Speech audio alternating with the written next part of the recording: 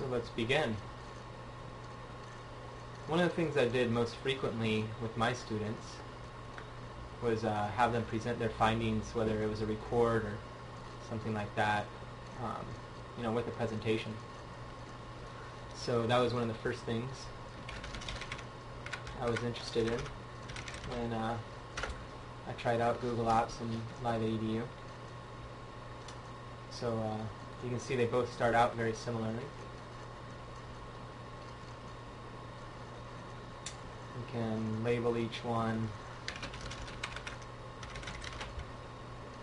Actually, uh, Live@EDU has a few more themes um, than uh, Google Docs does.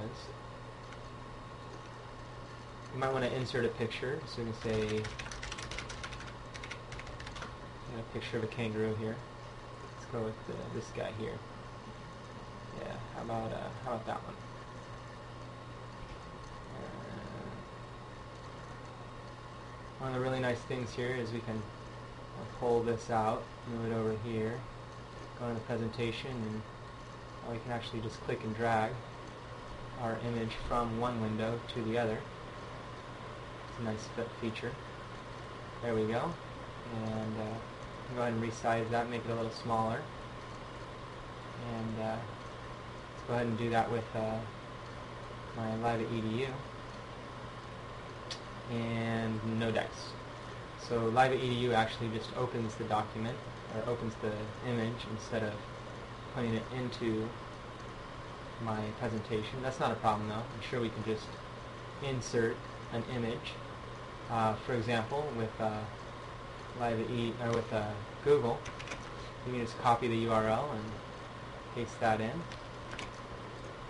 and uh, you get the image there again. Let me just go ahead and resize that once again down to a smaller size.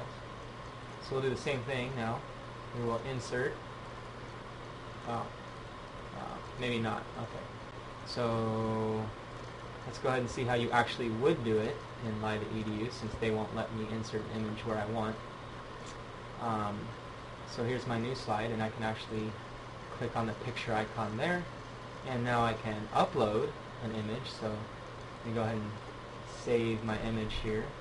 I'll save it as uh, copying kangaroos. That sounds good. And now I can find my image and upload. And there we go.